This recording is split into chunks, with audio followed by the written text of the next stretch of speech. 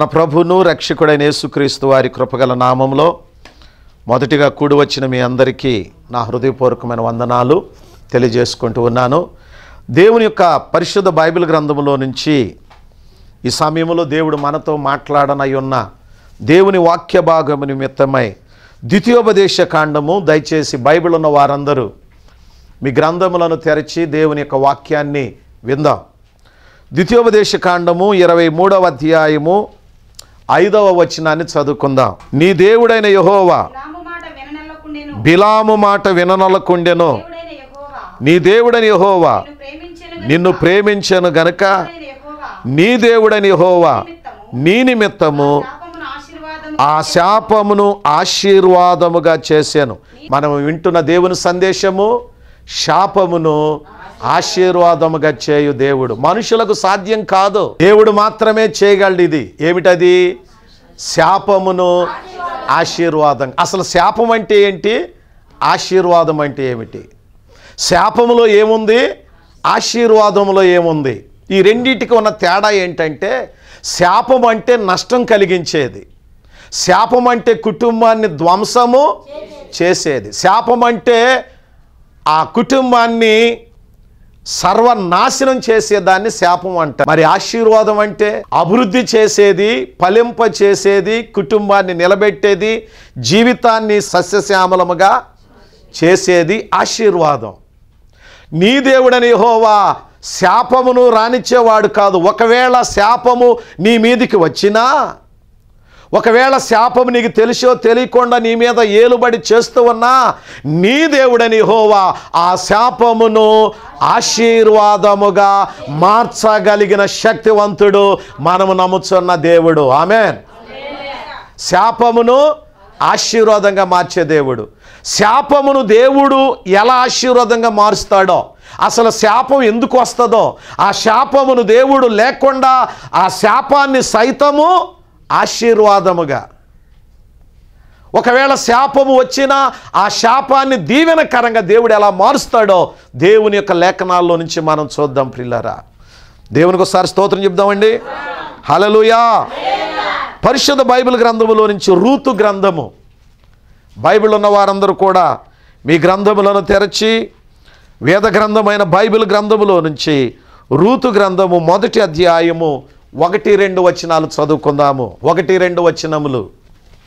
న్యాయాధిపతులు ఏలిన దినముల యందు దేశములో కరువు కలగగా యోధా బెత్లహేము నుండి ఒక మనుష్యుడు తన భార్యను తన ఇద్దరి కుమారులను వెంటబెట్టుకొని మోయాబు దేశమున కాపురముండుటకు వెళ్ళెను. మనుషుని ఆ మనుష్యుని పేరు ఎలీమెలెకు. అతని భార్య పేరు నయోమి. అతని ఇద్దరు కుమారుల పేర్లు మహులోను కిలియోను.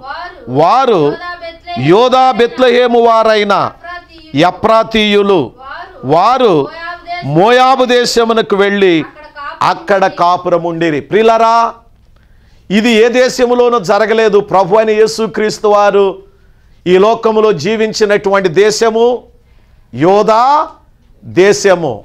ఆ యోధా దేశములో ఆయన పుట్టినటువంటి గ్రామము బెత్లహేము. ఆ బెత్లహేములో యేసు ప్రభు వారి కంటే ముందు ఉన్నటువంటి కుటుంబము నయోమి కుటుంబము. నయోమి కుటుంబము. ఆయన భర్త పేరు ఆమె భర్త పేరు ఆ మనుషుని పేరు ఎలీమెలేకు. యజమానుడి పేరు ఎలీమెలేకు. అతని భార్య పేరు నయోమి.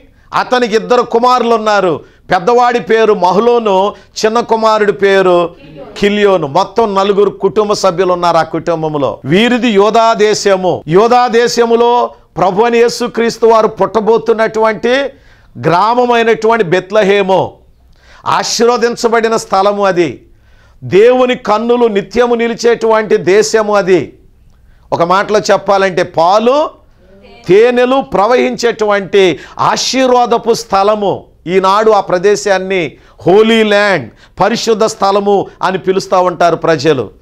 నలు దేశం యొక్క నలుమూలల నుండి ప్రపంచముల యొక్క ప్రతి పరిస్థితి నుంచి ఆ దేశానికి ప్రజలు వెళితే ఆశీర్వాదం వచ్చిందని పుణ్యము దొరుకుతుందని దీవెన కలుగుతుందని ఆ ఎరుషులేము ప్రదేశానికి ఆ బెత్లహేము పరిసర ప్రాంతానికి ఈనాటి కూడా ప్రజలు ప్రయాణం చేస్తూ ఉంటారు.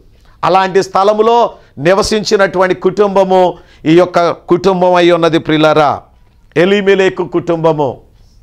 వీరు ఇర్షలే ఆ యొక్క బెత్లహేములో జీవిస్తూ ఉన్న దినాలలో బెత్లహేమ్ అనేటువంటి గ్రామములో యోధా దేశములోని బెత్లహేమ్ అనేటువంటి ఈ గ్రామములో వీరు నివసిస్తున్నటువంటి దినములలో యోధా రాజ్యములో బెత్లహేమ్ అనేటువంటి ఆ గ్రామంలో నివసిస్తున్న దినాల్లో ఒక దినాన ఒక ఒక ఒక సంవత్సరాన ఆ దేశానికి కరువు వచ్చింది. ఏమొచ్చిందండి?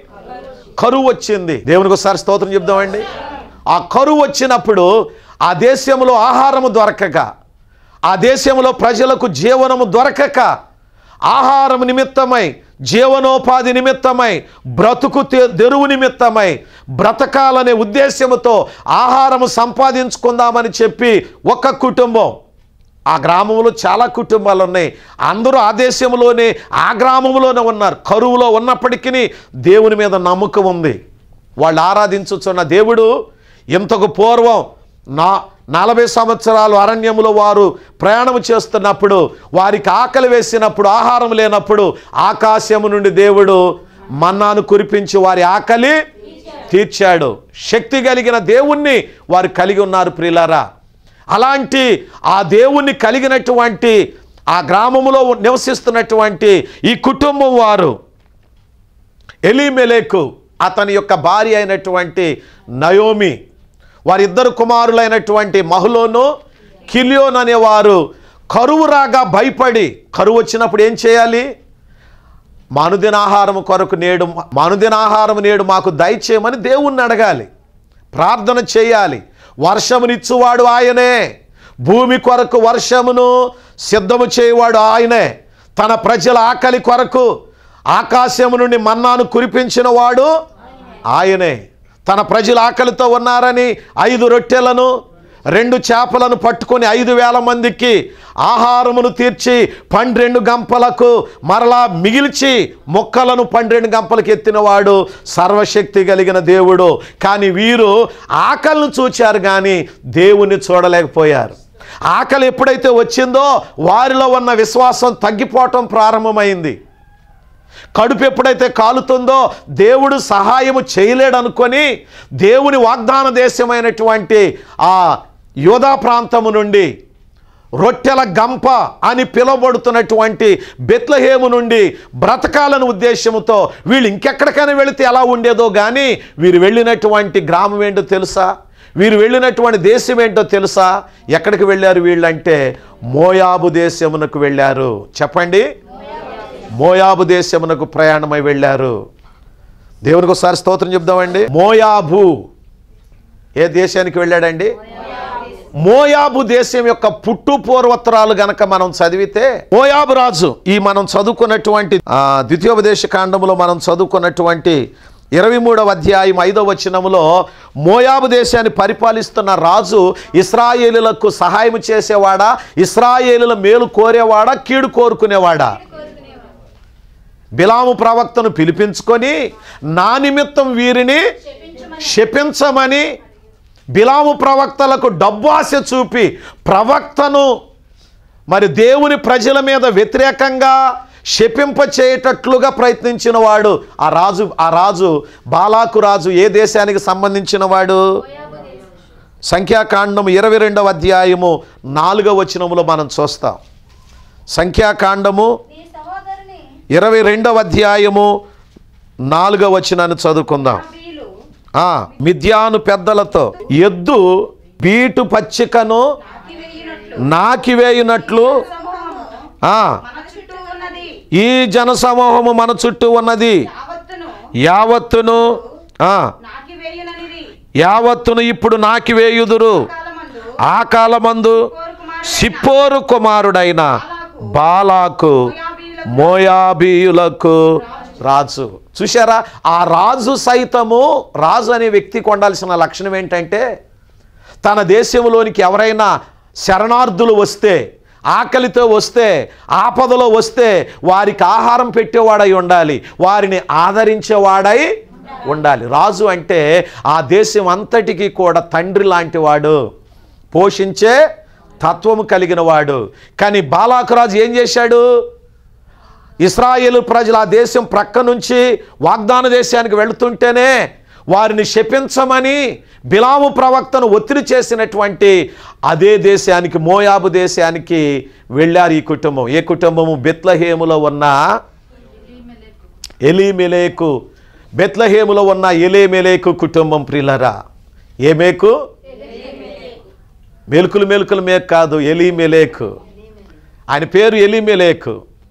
తన కుటుంబం తన పిల్లలతో తన భార్యతో వెళ్ళాడు. దేవుడు ఇక్కడ పోషించలేడా? దేవుడు ఒకవేళ ఏమండి దేవుని యొక్క వాక్యం చెప్తుందంటే సాయంత్రము ఏడుపు వచ్చి రాత్రి అంతయు ఉండి నన్ను ఉదయమున సంతోషం ఇచ్చేటువంటి దేవుడు. ఉదయమున ఆనందాన్ని ఇచ్చే దేవుడు. తన పి- పిల్లలకు ఈవులు ఇవి ఈయనెరిగిన వాడు. తన బిడలకు అవసరతలు తీర్చగలిగిన శక్తివంతుడిన తన ప్రజల కొరకు ఏమైనా చేయగలిగిన సర్వశక్తి కలిగిన దేవుడు వీరి పక్షాన్ని ఉన్నాడు.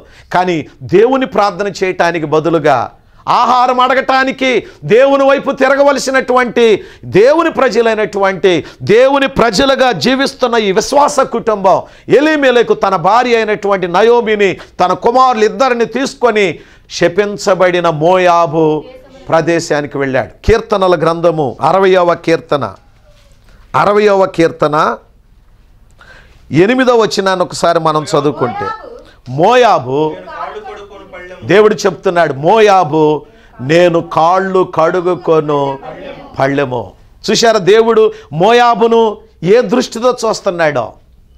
మోయాబు అంటే దేవునికి ఇష్టం లేదో?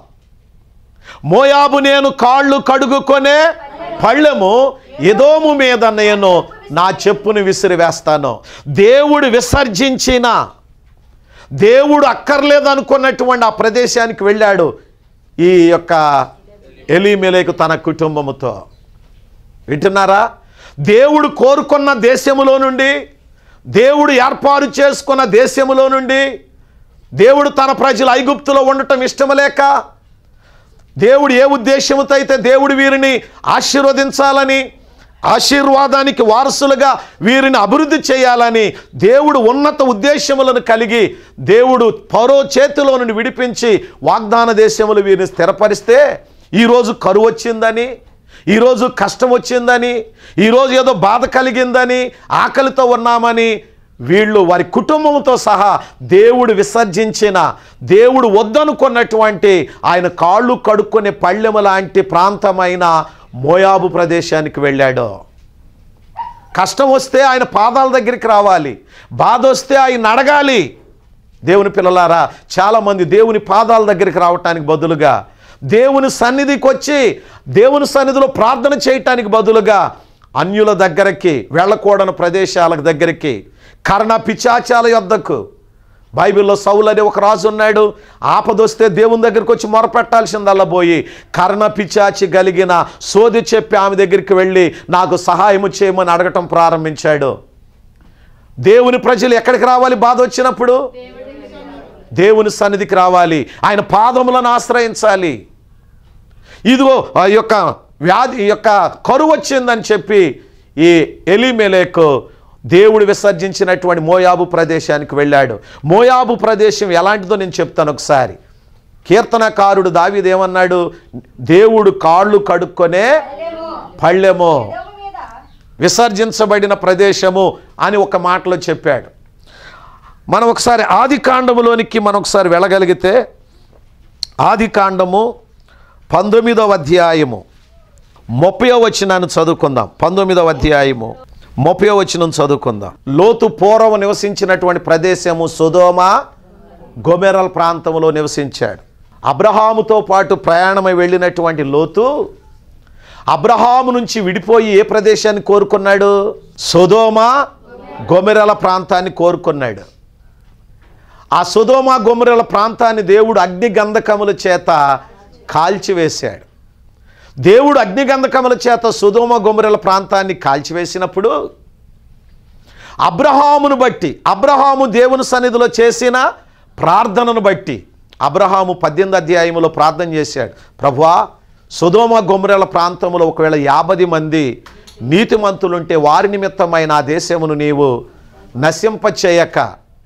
ఆ దేశమును నీవు సుధమ గుమ్రల ప్రాంతనా ప్రాంతాన్ని నీవు కా నాశనం చేయక కాపాడవా అని దేవుని సన్నిధులు అబ్రహాము భారము కలిగి ప్రార్థన చేశాడు. ఆ ప్రార్థన ఫలితముగా అబ్రహాము చేసిన విజ్ఞాపన ఫలితముగా అగ్ని గంధకములలో లోతు లోతు కుటుంబం కాలిపోకుండా ఉండటానికి దేవుడు తన దూతలను పంపించి సుధోమ గోబెరల ప్రాంతంలో నివసిస్తున్నటువంటి లోతును లోతు భార్యని లోతు ఇద్దరు కుమార్తెలను దేవుని దూతలు వచ్చి వారిని బలవంతముగా చేయి పట్టుకొని సుధోమ గుమరల ప్రాంతము నుంచి దేవుడు వారిని వెలుపలికి రప్పించాడు. దానికి కారణం దేవుని సన్నిధులు అబ్రహాము చేయుచున్న విజ్ఞాపన ప్రార్థన. దేవుడు నాశనం అవటానికి ఇష్టపడక లోతును తప్పించాడు. దేవుని దూతలు వారిని వెలుపలకు తీసుకొచ్చిన తర్వాత మీరు ఎదురుగా ఉన్నటువంటి ఆ గుహలోనికి ఆ కొండ గుహలోనికి వెళ్ళి దాక్కోండి. మీరు రక్షించబడాలంటే ఈ అగ్ని జ్వాలలు ఈ అగ్ని యొక్క తాపం మీకు తగలకుండా ఉండాలంటే కొద్దిసేపు మీరు గుహలోనే దాగి ఉండండి. మీరు వెళ్ళేటప్పుడు వెనుదిరిగి చూడొద్దు. వెనుతిరిగి చూశారు మీరు ఉప్పు స్తంభం అయిపోతారని దేవుడు హెచ్చరించాడు. కానీ లోతు భార్య వెనుక తట్టు చూచి ఉప్పు స్తంభం అయిపోయింది. ఇప్పుడు లోతు లోతు యొక్క ఇద్దరు కుమార్తెలే ఉన్నారు. లోతు భార్య లేదు. ఏమైపోయింది? ఉప్పు స్తంభం అయిపోయింది. వీళ్ళు ముగ్గురు ఆ సోయారు ప్రాంతంలో నివసిస్తున్నారు. ఎవరు నివసిస్తూ ఉన్నారు? లోతు మరియు లోతు లోతు యొక్క ఇద్దరు కుమార్తెలు. దేవునికి ఒకసారి స్తోత్రం చెప్దామండి. వీళ్ళు ముగ్గురు మాత్రమే ఆ ప్రదేశంలో నివసిస్తూ ఉన్నారు. వారి కళ్ళ ఎదుట అప్పటి వరకు వారు నివసించిన ప్రదేశమైన సుధోమ గోమిరాల ప్రాంతము దేవుని కోపము కొరకు దేవుడు పంపించిన అగ్ని గంధకముల చేత కాలి బూడిదైపోయి నాశనం అయిపోయింది దేవుడు ఆ ప్రాంతాన్ని నాశనం చేయటానికి కారణం కూడా ఉంది. కారణం ఏంటో తెలుసా? పాపము పరిపక్వమై మరణమును కంది. సుధోమ గుమరల ప్రజలు చేసిన పాప ఫలితముగా దేవుడు ఆ ప్రాంతాన్ని అగ్నిగంధకముల చేత కాల్చివేశాడు. ఇప్పుడు వారి కళ్ళ ఎదుట ప్రజలు ఎవరు లేరు. వాళ్ళు ఉన్నది వీళ్ళే సోయార్ ప్రాంతములో. ఎవరు? లోతు లోతు యొక్క ఇద్దరు కుమార్తెలు. తండ్రి ఇద్దరు కూతుర్లు. ఈ కూతుర్లు ఒక ఆలోచనకు వచ్చారు. ఏం ఆలోచనకు వచ్చారంటే మనం ఇప్పుడు యవనస్తులమై ఉన్నాము. మనం వివాహం చేసుకోవటానికి ఆ పురుషులు ఎవరు? లేరు. పిల్లల కనాలన్నా. రేపు మన కాళ్ళు చేతులు పడిపోయి వృద్ధాప్యం వచ్చినప్పుడు జీవించటానికి మనల్ని చూడటానికి మనల్ని ఆదరించటానికి మనకు పిల్లలు కావాలి. పిల్లల్ని ఎలా కనాలి మనం? మనతో సకల లోక మర్యాద సకల జనుల మర్యాద చొప్పున. ఏమండి? సర్వలోక మర్యాద చొప్పున. మనతో పోవుటకు. లోకములో ఏ పురుషుడును లేడో. మన తండ్రికి ద్రాక్షారసము త్రాగించి అతనితో శయనించి మన తండ్రి వలన సంతానము కలుగు చేసుకుందుము. రమ్మని చెప్పాను. వినండి ప్రిల్లర్ ఎంత ఘోరం అది. దేవునికి ఒకసారి స్తోత్రం చెప్దామండి. ఆ యొక్క యోధా దేశములో ఉన్నటువంటి యోధా దేశములో నివసిస్తున్నటువంటి బెత్లహేమ్ అనే గ్రామంలో ఉండవలసిన ఎలీమిలేకు కరువు వచ్చేటప్పటికి పారిపోతున్నాడు. ఎక్కడికి? మోయాబు ప్రాంతం. దేవుని వైపు చూడటం చూడటం మొదలు దేవుని వైపు చూడ చూడటానికి బదులుగా దేవుని మీద ఆధారపడవలసి దేవుని అడగవలసినటువంటి ఆ కుటుంబం అడగకపోగా దేవుని సన్నిధిలో ప్రార్థన చేయకపోగా వారు వెళ్ళకూడని ప్రదేశానికి శాపగ్రస్తమైన దేశానికి వెళ్ళారు. అసలు ఆ మోయాబ్ ఎలా వచ్చిందో మనం చదువుకుంటున్నాం ఆది కాండములో పంతొమ్మిది అధ్యాయములో. లోతు లోతు యొక్క ఇద్దరు కుమార్తెలు. వారు వారు ఉన్నటువంటి గ్రామం సుధోమ గుమరల ప్రాంతము అగ్ని గంధకముల చేత కాల్చివేయబడిగా అక్కడ ఇంకెవరు పురుషులు లేరని. మనకు పిల్లల కంటానికి లేకపోతే సకల జనుల మర్యాద చొప్పున మనము వారితో కాపురం చేయటానికి పురుషులు ఎవరు? లేరు. కాబట్టి తండ్రితోనే శయనించి తండ్రితో పాపము చేసి తండ్రి వలన పిల్లలకు అందాము అనుకునే ఆలోచన ఇద్దరు కూతుర్లు చేశారు ప్రిలరా. దేవుడు దాన్ని చూడలేకపోయాడు. దేవుడు దాన్ని ఓచుకోలేకపోయాడు. దేవుడు దాన్ని సహించలేకపోయాడు. మన దేవుడు రోషం కలిగిన దేవుడు. మన దేవుడు ఏ దేవుడు అండి ఆది కాండం ఆరో అధ్యాయములో యహోవ భూమిని దేవుడు యహోవ భూమిని చూచినప్పుడు ఆయన దృష్టిలో భూలోకము చెడిపోయి ఉండగా జలప్రళయము ద్వారా దేవుడు సర్వనాశనం చేశాడు.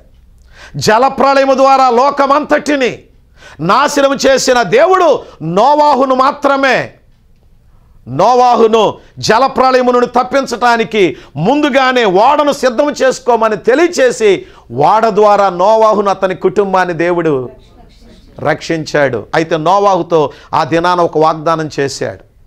ఒకవేళ కోపం వచ్చినా నన్ను విసికించినా నా ప్రజలు నా మీద తిరుగుబాటు చేసినా వారి ప్రవర్తన ద్వారా నా హృదయాన్ని గాయపరిచిన ఈరోజు చేసినట్లుగా మరల ఎన్నడు నేను జలప్రళయము ద్వారా లోకమును నాశనము చేయను. అని యహోవా తన హృదయములో సంతాపం పొంది నోవాహుతో వాగ్దానం చేశాడు. ఏమిటంటే ఇక మీదట ఒకే కాలములో లోకాన్ని నేను నాశనము జలప్రళయము ద్వారా నాశనము చేయను. దానికి మీకు నాకు మధ్య ఒక గుర్తుగా మేఘములలో నా ధనుసు ఉంచుతాను. అది మీకు నాకు ఇది ఒక గుర్తు. నా నిబంధనకు గుర్తు. దేవునికి ఒకసారి స్తోత్రం చెప్దామండి. కాబట్టి దేవుడు నిబంధన చేశాడు గనుక ఇదిగో లోతు కుమార్తెలు చేస్తున్న అరాచకాన్ని చూసి తట్టుకోలేనటువంటి దేవుడు. ఏంటో తెలుసా? తాను చేసిన నిబంధనకు భరించలేని దేవుడు ఆ జరుగుతున్న అకృత్యం ఆ జరుగుతున్న ఘోరం. కన్న తండ్రితో కుమార్తెలు శయనించి పిల్లల కనాలని వాళ్ళు చేస్తున్న ప్రయత్నాలను తట్టుకోలేక అప్పుడే నాశనం చేద్దాం అనుకున్నాడు ఆయన. కానీ ఆయన చేసినటువంటి వాగ్దానాన్ని నోవాహుతో చేసిన వాగ్దానాన్ని ఆయన ఎన్నడు మర్చిపోయేవాడు కాడు. కోపించుచూనే వాత్సల్యము చూపించేటువంటి దేవుడు దేవుడు ఇది చూశాడు కానీ వాస్తవానికి దేవుడు అప్పుడే వారిని నశింప చేయాలి దేవునికి ఒకసారి స్తోత్రం చెప్దామండి. నోవాహులో జల నోవా కాలంలో జలప్రళయం ద్వారా నాశనం చేసినట్లుగా వాళ్ళ కళ ఎదుటే సుధోమ గుమ్మర పట్టణాన్ని అగ్నిగంధకముల ద్వారా నాశనం చేయాల్సిన దేవుడు అబ్రహాం అడ్డుపడుతున్నాడు యెహోవా సన్నిధిలో. ప్రభువా ఒకవేళ నీతిమంతులు ఉన్న పట్టణాన్ని అందరినీ నాశనం చేయక ఆ పట్టణాన్ని కాపాడమని అబ్రహాము దేవుని సన్నిధిలో ఏం చేస్తూ ఉన్నాడు? విజ్ఞాపన చేస్తున్నాడు ప్రిలారు ఎప్పుడన్నా నీ పిల్లల కొరకు ప్రార్థన చేసావా? నీ పిల్లలు దేవుని మాట వింటున్నారా? నీ భర్త దేవునికి లోబడుతూ ఉన్నాడా? నీ భర్త దేవునికి లోబడుతూ ఉన్నాడా? వారు దేవునికి ఆ మనసుని బాధ పెడుతూ ఉన్నారేమో దేవునికి నష్టం దేవునికి ఆయాస్కరంగా జీవిస్తూ ఉన్నారేమో ఒకవేళ దేవుని కోపం నీ కుటుంబం మీద రేగితే అప్పుడు ఎవరు రక్షిస్తారు? అబ్రహాము లోతు కుటుంబం కొరకు ఏం చేస్తున్నాడు చెప్పండి? దేవుని సన్నిధిలో ప్రార్థన చేస్తున్నాడు. అందుచేత దేవుడు కోపంతో వీళ్ళ నాశనం చేద్దాం అనుకున్నాడు కానీ నాశనం చేయలేకపోయాడు. అయితే ఇద్దరు కుమార్తెలు తండ్రితో లోతు యొక్క ఇద్దరు కుమార్తెలు. పెద్ద కుమార్తె మరియు చిన్న కుమార్తె. కుమార్తె ఇద్దరు కూడా తండ్రితోనే వారు గర్భవతులయ్యారు ప్రియులారా. తండ్రి ద్వారా ఈ కుమార్తెలు గర్భవతులయ్యారు. ఎంత ఘోరం ఇది. ఈనాడు లోకములో కూడా ఎంత భయంకరమైన సంఘటనలు జరుగుతున్నాయి. ఇలాంటి ఇలాంటి జీవితాలు జీవిస్తున్న ఈ లోకం మీదకి శాపం వచ్చిందా ఆశీర్వాదం వచ్చిందా మీరే చెప్పండి. ఇవన్నీ శాపములకు సంకేతమా? ఆశీర్వాదముకు కారణమా? మీరు ఆలోచన చేయండి. చూచినటువంటి దేవుడు వారిలో పెద్ద కుమార్తె తన తండ్రి వలన ఒక కుమారుని కని ఆ కు- పుట్టినటువంటి కుమారుడికి పెద్ద కూతురు లోతు యొక్క పెద్ద కుమార్తె. లోతు యొక్క పెద్ద కుమార్తె తండ్రి ద్వారా కనినటువంటి తన కుమారునికి ఏమని పేరు పెట్టింది? మోయాబు అని పేరు పెట్టింది. ఒకసారి గట్టిగా దేవుని స్తోత్రం చెప్దామండి. ఏమని పేరు పెట్టింది? మోయాబు. ఈ మోయాబు మోయాబీయులకు ఈ మోయాబు నేటి వరకును మో మోయాబీయులకు మూల పురుషుడు. ఇప్పుడు చెప్పండి మోయాబు అంటే ఎలాంటి ప్రదేశం అది? మోయాబు అంటే మోయాబు పుట్టుకయే మోయాబు ప్రారంభమే మోయాబు అనేటువంటి పదం యొక్క ఆరంభమే శాపగ్రస్తమైన దేవునికి అయిష్టమైన దేవుని హృదయానికి భారభరతమైనటువంటి స్థలము. దేవుని హృదయం అక్కడ ఏమాత్రం కూడా నువ్వు ఒప్పుకునే స్థలము కాదు. దేవుడు అంగీకరించే ప్రదేశము కాదు. అక్కడి ప్రజలు కానీ అక్కడ జీవిస్తున్న ప్రజలు కానీ దేవునికి ఇష్టులైన ప్రజలు ఎంత మాత్రము కాదు ప్రియులరా. మన ఎలిమెలేకు కుటుంబము చూద్దాం ఇప్పుడు. ఋతు గ్రంథంలోనికి మనం ఇప్పుడు వచ్చేస్తే మొదటి అధ్యాయము. అలాంటి శపించబడినటువంటి శాపగ్రస్తమైనటువంటి ఆ ప్రదేశానికి వస్తూ ఉన్నారు. ఎలిమెలేకు అతని భార్య అయినటువంటి రూతు. క్షమించండి. ఎలిమెలేకు అతని భార్య అయినటువంటి నయోమి అలాగే తన ఇద్దరు కుమారులైన మహులోను కిలియోను. ఈ విశ్వాస సంబంధమైన ఈ కుటుంబం దేవుడు ఆశీర్వదించబడిన స్థలములో నుండి అనగా బెత్లహేములో నుండి దేవుని చేత శపించబడిన దేశమైనటువంటి మోయాబు ప్రాంతంలోకి వస్తూ ఉన్నారు. ప్రదేశములకు వస్తూ ఉన్నారు. దీవెనలో నుండి శాపములోనికి ప్రయాణం చేస్తూ ఉన్నారు. ఎంత ఘోరం ఇది. వాక్యం వింటున్న దేవుని పిల్లలారా దేవుడు మిమ్మల్ని ఆశీర్వదించాడు. దేవుడు మిమ్మల్ని ఎన్నుకొన్నాడు. దేవుడు మిమ్మలను ఆశీర్వదించాలని చూస్తూ ఉన్నాడు. ఆశీర్వాదములు నిలిచి ఉంటూ ఉన్నారా? దేవుడు వద్దన్న ప్రదేశానికి దేవుడు కాదనుకున్న స్థలానికి ఆశీర్వాద స్థలములు ఉంటూ ఉన్నావా? శాపగ్రస్తమైన స్థలాలకి వెళుతున్నావా? వీళ్ళు చేసిన చారిత్రాత్మిక తప్పిదం ఏంటంటే బెత్లహేములో ఉండవలసినటువంటి ఈ కుటుంబం ఎలిమెలేకు కుటుంబము దేవుని చేత శపించబడిన మోయాబు ప్రదేశానికి వెళ్ళారు. దేనికోసం వెళ్ళారంటే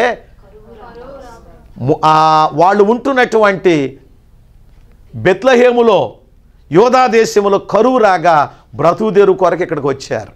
విశ్వాస జీవితంలో కూడా శ్రమలు వస్తాయి కష్టాలు వస్తాయి. కంగారు పడకండి.